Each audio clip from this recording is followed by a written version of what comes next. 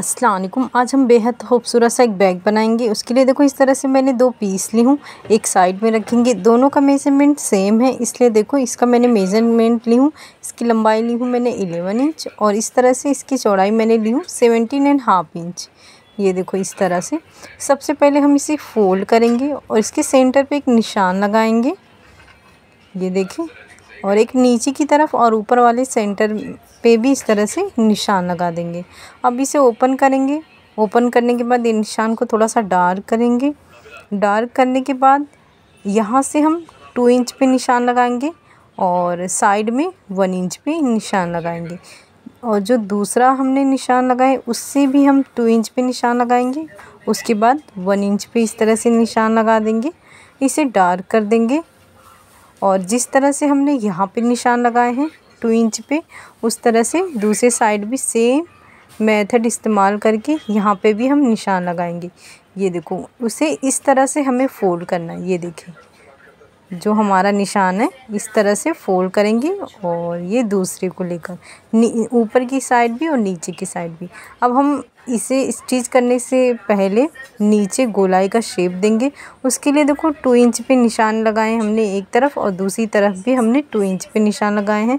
और कॉर्नर पे one inch पे निशान लगाने के बाद इस तरह से उसी के अंदर ही हमें इस तरह से शेप देना है। अब ये हमने शेप दे दिए हैं। अब इसकी सबसे पहले हम कटिंग करेंगे। ये देखो, इस तरह से ये हमने कटिंग कर लिए हैं। अब ये जो हमने निशान लगाए थे चुन के लिए देखो, इस तरह से लेकर सबसे पहले हम ये दोनों प्लेट्स स्टिच कर देंगे नीचे और ऊपर की तरफ़। और इस तरह से हम दोनों स्टिच करके रेडी करेंगे। उसके बाद इस तरह से दो पीस लेंगे। इसकी लंबाई हमने ली है थ्री इंच और चौड़ाई उतनी लेंगे जितनी आपकी रेडी तैयार होकर आ रही है ऊपर के से। सबसे पहले सीधे पे सीधा रख कर स्टीच करेंगे और टॉप स्टीच कर देंगे। और दूसरे का भी सेम हम इसी तरह से करेंगे। इस तरह से स्टीच करेंगे और ऊपर इस तरह से टॉप स्टीच कर देंगे। इस तरह से ये देखो हमारा सिलकर रेडी हो गया है। ये देखें। दोनों हमने इसी तरह से स्टिच कर लिए हैं। और ये स्ट्रैप बनाएँगे, उसके लिए देखो ये दो पीस हैं।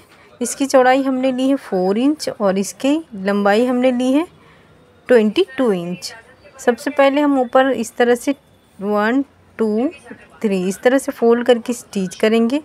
ये देखो, ये हमने स्टेप स्टिच करके रेडी कर लिए हैं। अब उसके लिए सबसे पहले हम इस पर पूरा इसका जो भी आता है सेंटर पे निशान लगा देंगे। ये मैं six point inch six point five inch पे निशान लगा रही हूँ। उसके बाद थ्री इंच पे निशान लगा रही हूँ और यहाँ से थ्री इंच पे निशान लगा रही हूँ। ये जो हमने निशान लगाए हैं, यहाँ पे स्टेप रख के स्टिच करेंगे। और दूसरा भी सेम हमने इसी तरह से लगा कर अब हम यहाँ पर भी स्टिचिंग करेंगे। ये देखो, ये हमारी स्टिचिंग हो चुकी है। दूसरा भी हमने सेम उसी तरह से स्टिच कर लिए हैं। अब हम ज़िप वाला हिस्सा बनाएँगे। उसके लिए देखो, इस तरह से मैंने दो पीसेस ली हूँ और इस दो लाइनिंग वाला पीस ली हूँ। सेम मेज़रमेंट है, इसकी लंबाई हमने ली है तीन इंच और इसकी चौड़ाई हमने ली है टेन इंच इसकी चौड़ाई है तीन तीन इंच और लंबाई है टेन इंच और ज़िप भी हमने टेन इंच का लिए हैं। सबसे पहले देखो ज़िप लगाने सीख लें। सबसे पहले इसे हम ज़िप को दोनों को अलग करेंगे। ये देखो, ये सीधे पे सीधा रखेंगे और इस तरह से, ये देखो, सबसे पहले हम इस तरह से रखेंगे लाइनिंग वाला पीस और ज़िप को देखो, यहाँ पे हम जो स्टिच करेंगे, वो बाहर की तरफ़ निकालेंगे और साइड में हम टू इंच पे निशान लगा देंगे, उसके बाद ज़िप एक अंदर की तरफ़ करेंगे। जिस तरह से हमने स्टिच करना है, दूसरा भी सेम उसी तरह से देखो स्टिच कर देंगे इस तरह से बाहर करेंगे हम तो ज़िप भी कवर हो जाता है और हमें इस तरह से दूसरा हिस्सा मिल जाता है जिसकी मदद से हम रनर इंसर्ट कर सकते हैं। ये देखो। इस तरह से हम करेंगे। लेकिन ये स्टिचिंग करते वक्त ध्यान दें कि ज़िप का दोनों हिस्सा सेम होना चाहिए। ये देखें, और ऊपर हम टॉप स्टिच करेंगे। ये देखिए ये सेम दोनों का हिस्सा है। अब इसे फोल्ड करेंगे, इसके सेंटर पे इस तरह से निशान लगाएँगे, और दूसरे पे भी हम इस तरह से निशान लगा देंगे। ये देखो, इस तरह से ये हमने दोनों पे निशान लगा दिए हैं। अब हमारा मेन फैब्रिक है, वो लेंगे और इस तरह से जो हमने स्टेप लगाते हुए सेंटर पे निशान लगाए थे, उस पर रख कर दोनों सेंटर को ज्वाइन करेंगे और फिर इसके बाद स्टिच करेंगे और एक लाइनिंग वाला पेज सिम उसके बराबर लेंगे, वो रखेंगे, इस तरह से स्टिच करेंगे। दूसरा भी सेम उसी तरह से सबसे पहले जिप वाला पोर्शन रखेंगे, उसके बाद एक लाइनिंग वाला पीस लेंगे, इस तरह से स्टिच करेंगे। ये देखो, इस तरह से हमने दोनों स्टिच कर लिए हैं। अब इस तरह से टॉप स्टिच करेंगे और साइड में ये पूरा स्टिच करके रेडी करेंगे। जिस तरह से वो पीस करेंगे सेम ये वाले पीस को भी ऊपर स्टिच करेंगे, चारों तरफ़ स्टिच करके रेडी करेंगे।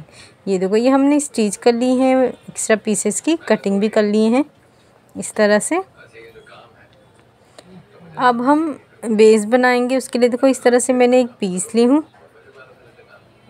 ये देखिए, ये मैं डबल फोल्ड की इसका मेज़रमेंट आपको बता देती हूँ।